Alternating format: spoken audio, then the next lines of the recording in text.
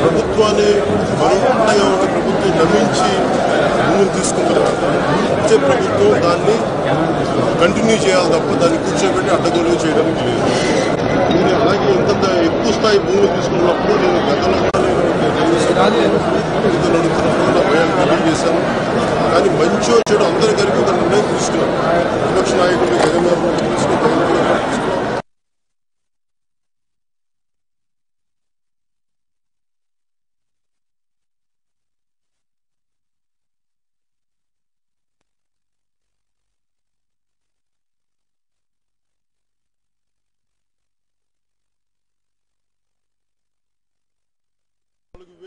తీసుకున్నప్పుడు మీరు దాన్ని పక్కన పెట్టి గుర్తించి వాటి మీద కేసులు పెట్టండి ఇవి చేయండి అంతేగాని ఒక వాళ్ళు ఏదో పది పది కొద్ది మంది ఉన్నారని చెప్పి వాళ్ళ నెపం మీద ఇక్కడ ఇంతమంది ఎస్సీలు కానీ బీసీ కానీ ఎస్టీలు కానీ మొత్తం అన్ని రకాల కులాలు అందరూ కూర్చోబెట్టి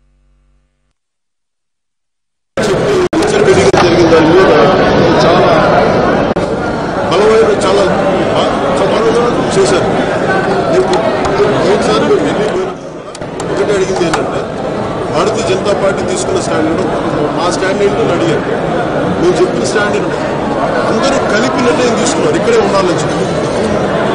మళ్ళీ ఇప్పుడు ఈ రోజు కూర్చొని మార్చేస్తాం ఇదంటే ఇది కూర్చో మళ్ళీ ఉన్నాయే పదమూడు జిల్లాలు తిప్పి కొడితే దీంట్లో కూడా ప్రాంతీయ అసమానతలు ప్రాంతీయ విద్వేషాలు వస్తుంది కదని చెప్పి. అందుకంటే ప్రజల్ని ఎలా ఏకం చేయాలి? ప్రజలందరూ విభిన్నమైన ప్రాంతాలు లేకపోతే పదమూడు జిల్లాలు కూడా మనం ఏం కంట్రోల్ చేయలేకపోతే ఏం పాలన మళ్ళీ దీనికోసం కూడా అంటే పదమూడు జిల్లాల ప్రజలు మీరు ఏకీకృతం చేయలేకపోతే పాలకులు ఎందుకు దీనికి?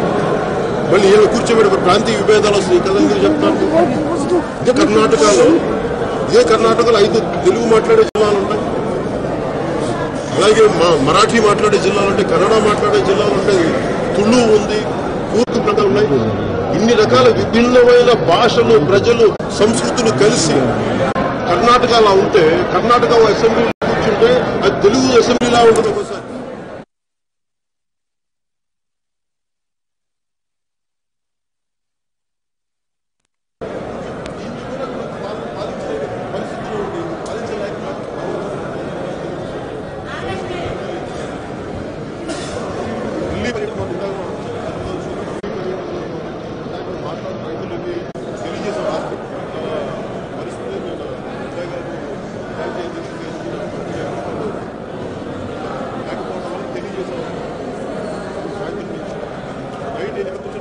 ఎక్కువ అవసరం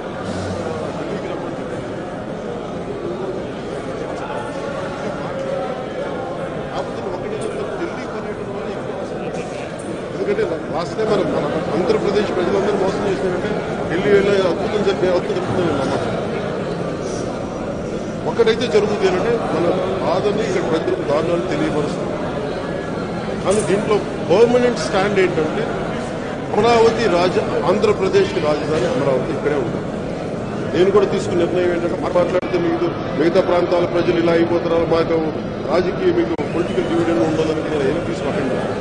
పార్టీ పరంగా ఇంత తప్పు జరుగుతున్నప్పుడు తప్పు ప్రభులు ప్రబలిపోతున్నప్పుడు తప్పు పక్షం అవసరం ఈ రోజున ఆడపడుచు చూడకుండా మహిళలను చూడకుండా వయసు తారతమ్యం లేకుండా అందరినీ విచక్షణ రహితంగా కొట్టడం పైగా లాఠీలకి మేకులు పెట్టి కొట్టడం అసలు వాళ్ళకి కనీసం ఇంత ప్రజాస్వామ్య ప్రక్రియ లేకుండా రాజధానిని ఏకపక్షంగా మార్చేయడం ఇవన్నీ కూర్చోబెట్టి ఎందుకంటే అమరావతి వాళ్ళు అనుకుంటే మనుషులు కనిపించగలరేమో కానీ అమరావతి అనేది ఇంత పెట్టుబడి పెట్టారు కేంద్ర ప్రభుత్వం పెట్టుబడులు పెట్టింది అందరూ ఏకీభవించారు అందుకని అమరావతి శాసన రాజధాని కూడా ఒకవేళ ఈ రోజున అటు తీసుకెళ్ళినా అని అనుకుందాం అనుకున్నా కానీ తిరిగి ఇక్కడ తీసుకొచ్చే బాధ్యత జనసేన భరతిస్తారు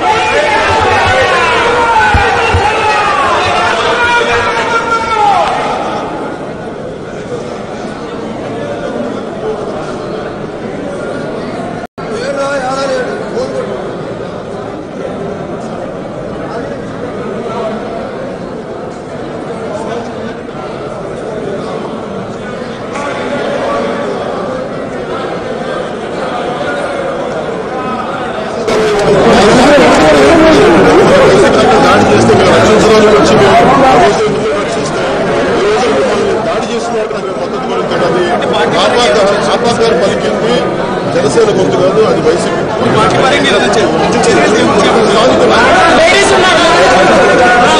ఏంటండి? వీడియో నచ్చిందా? అయితే ఓ లైక్ వేసుకోండి. లేదంటే ఓ కామెంట్ చేయండి. ఎప్పటికప్పుడు మా వీడియోస్ చూడాలంటే సబ్స్క్రైబ్ చేసుకోండి.